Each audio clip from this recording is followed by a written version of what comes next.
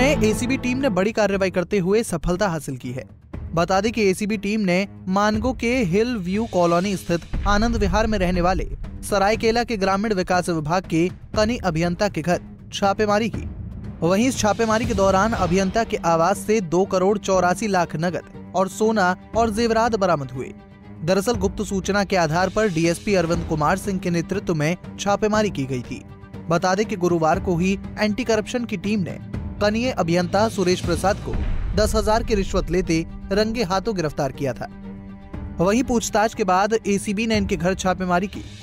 जो कनीय अभियंता है क्या नाम है क्या सुरेश प्रसाद वर्मा। ग्रामीण विकास में है सरायकेला में कनीय अभियंता है। और उनकी कल गिरफ्तारी हुई थी घूस लेने के आरोप में। आज उनके घर के प्रथम तल्ले पर छानबीन की गई। तो एक एक अलमीरा से दो करोड़ चौवालीस लाख अस्सी हज़ार रुपये की बरामदगी हुई है। तो पता करने का प्रयास किया जा रहा है ये पैसा किनका है? कुछ पता चले ये जो सुरेश प्रसाद वर्मा का कहना है कि ऊपर में एक भाड़ेदार रहते थे वीरेंद्र राम को चीफ इंजीनियर उन्हीं का। काफ़ी सत्यता की पता किया है।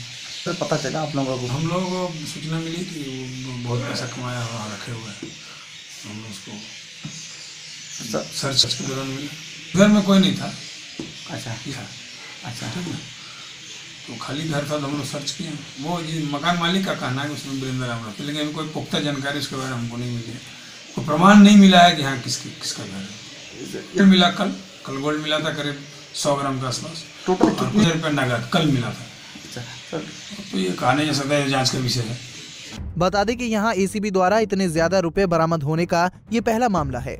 लेकिन अनुमान लगाया जा रहा है कि चुनाव आचार संहिता में किसी प्रत्याशी की मदद के लिए वोटरों के बीच वितरण के उद्देश्य से पैसे मंगवाए गए थे। अब एसीबी की जाँच के बाद ही साफ़ हो पाएगा कि आखिर इतनी बड़ी मात्रा में नकदी कहाँ से लाई गई थी।